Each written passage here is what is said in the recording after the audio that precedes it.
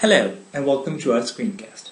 In this episode, we're going to give a very brief introduction to Findbugs, which is a static analysis tool available for Java. Static analysis is a novel technique of finding bu- bugs and potential pitfalls in the source code without actually running the program. In their book, Secure Programming with Static Analysis, the authors provide a general model for any static analysis tool. According to them, any static analysis tool will have two main components the front end and the analyzer. The front end is the module through which the users interact with the system. The source code, along with any set of rules that have to be applied on the source code, are given to the static analysis tool through the front end. The analyzer is the heart of any static analysis tools. It is the analyzer that takes in the inputs that are given through the front end, performs static analysis on bytecode, say for example in Java, and then produces the results which can be viewed by developers and programmers alike. Findbugs is one such static analysis tool that performs data flow analysis and lexical analysis on the bytecodes that are produced by Java classes. Findbugs can be downloaded from Findbugs or SourceForge.net website. Findbugs is available both for Windows as well as Linux operating systems. Uh, for the purpose of this demonstration, however, I will be using only the Windows version of Findbugs.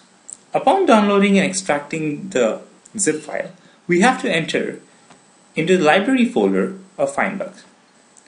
Once we get into the library folder of Findbugs, we need to search for findbugs.jar file and double click it. This will open the web interface of Findbugs. It is through this interface that we can give our source files and our class files to Findbugs to perform static analysis. We will not delve deep into the details of how to use Findbugs because that will be the subject of our ensuing screencast. In this, we just want to show what the interface looks like. Now, once the interface opens up, we need to go to File and open a new project, File menu and open a new project. Here, we can see several fields that are present in the new window. The main important field is the class path for analysis field. It is in this field that we give the class name of the Java code that we want to perform static analysis on.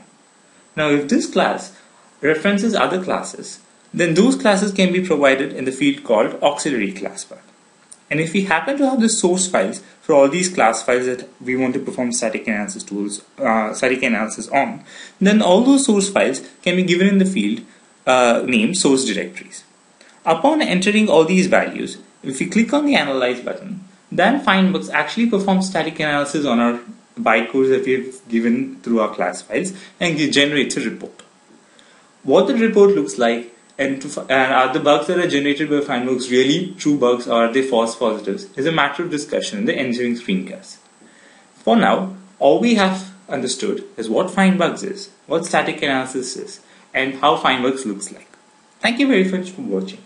Please stay tuned. In the ensuing episodes, we will delve more deep into the details of Findbugs.